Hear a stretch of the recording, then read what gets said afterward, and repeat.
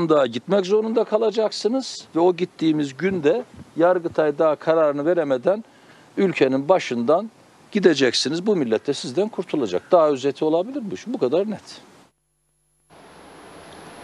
Evet sevgili izleyicilerimiz yönetmenim Hasan Aksu ne yaptı ne etti uğraştı çabaladı her yöntemi denedi ve Onur Çanakçı ile bağlantımız hazır. Onur Bey merhaba hoş geldiniz. Yeniden merhaba. Herhangi bir yayında bunu yaşadınız mı bilmiyorum Onur Bey. Dört koldan size sa- saldırdık ve en sonunda bağlantıyı yapabildik.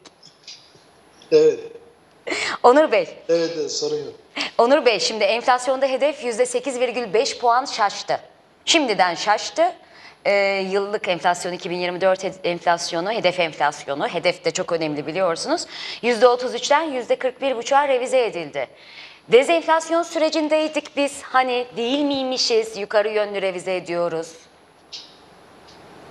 Şimdi şöyle, e, AKP'nin bugüne kadar hiçbir orta vadeli, uzun vadeli, kısa vadeli herhangi bir hedefini tuttuğunu gören var mı? Varsa parmak kaldırsın. Ben görmedim. Bugün kapalı çarşıya gidin, X bir sarrafın dükkanından içeri girin.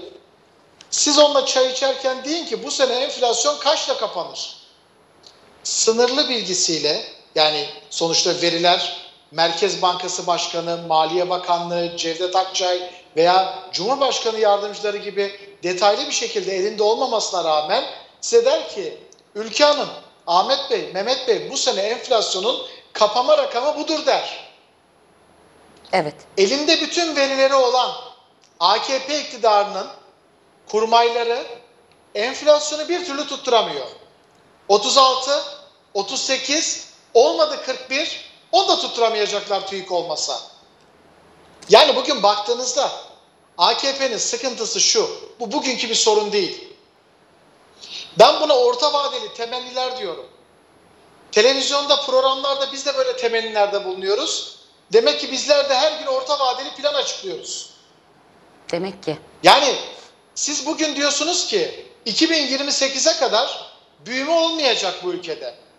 Büyümede daralma olacak, azalma olacak diyorsunuz. Peki sorum şu, bu ülkeyi kendi haline bıraksanız, hiç kimse olmasa bu ülke ekonomik anlamda ve ticaretine baktığınızda yüzde beş büyür.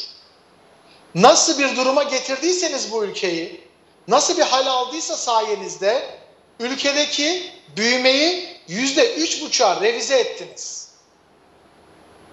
Önümüzdeki sene yüzde dörde revize ettiniz.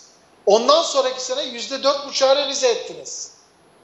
Bir şekilde bakın diyorlar ya Cevdet Akçay çok güzel bir şey söyledi. Güzel derken dikkat çekici. Depremden kaynaklı dedi çok büyük bütçe açığı veriyoruz. Sayın Akçay depremden dolayı bütçe açığı veriyoruz ama bir de sizin kur korumalı mevduat üzerinden bize gelmiş yükü Merkez Bankanıza rücu etmeniz söz konusu. Bunu niye dile getirmiyorsunuz? Bunu neden söylemiyorsunuz? Veya başka şekilde sorayım, başka şekilde sorayım.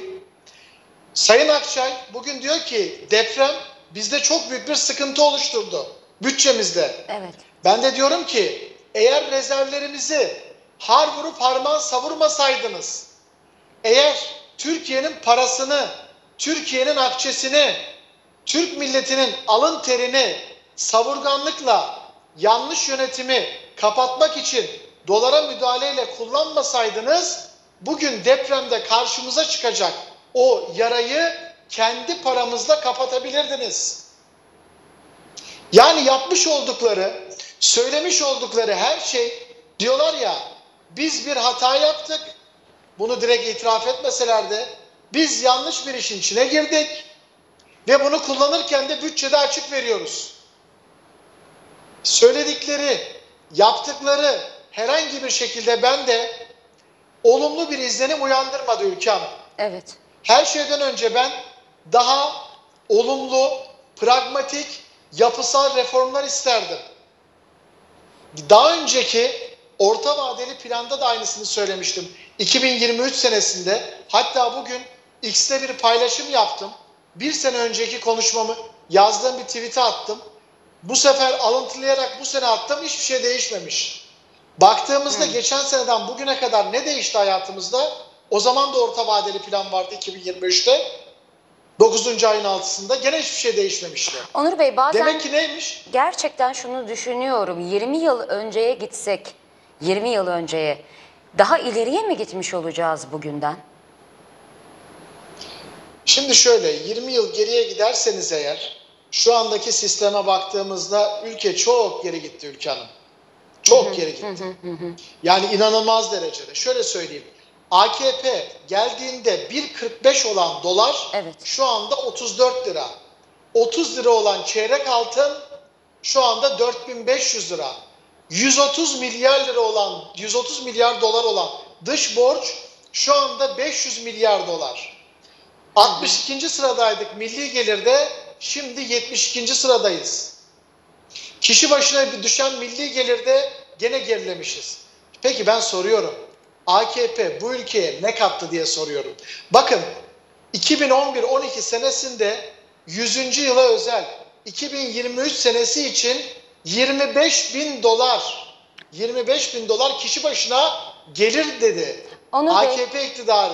Şimdi o 25 bin dolar gelirde biraz durmamızı rica edeceğim. Sizinle bağlantıyı kurmaya çalışırken biraz saatimiz ilerledi. Bir üç dakika bize müsaade edebilir misiniz? Tabii, Teğmenler tabii. konusuna dair biliyorsunuz inceleme başlatılacak. Ali Mahir Başarır bir açıklama yapıyor. Hemen birlikte bir kulak verelim. Tabii ki. Sonra kaldığımız yerden devam edelim. Çok teşekkür ediyorum.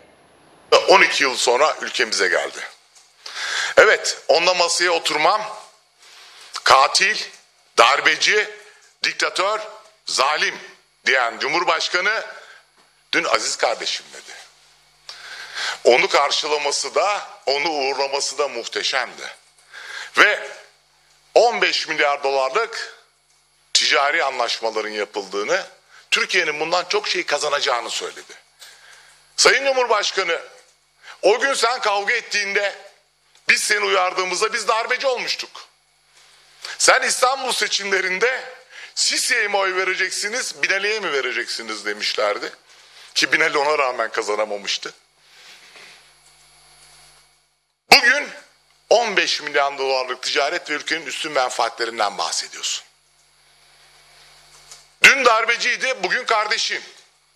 Ve 15 milyar doları da bir yere koyuyorsun. Ne suçu vardı bu ülkenin peki 8-9 yıl boyunca bu anlaşmalardan mahrum kaldı? Sırf şahsi kaprislerin ve itirazların yüzünden bu ülkeyi 15 milyar dolar yıllık ticaretten mahrum ettin o zaman. Ben soruyorum ülkeme. Bunun bir hesabı olmayacak mı? Koskoca Türkiye Cumhuriyeti dış ilişkilerinde ülkelerle olan ilişkilerinde Cumhurbaşkanının iki dudağını ve hislerini dayanarak mı bu ilişkileri tesis edecek?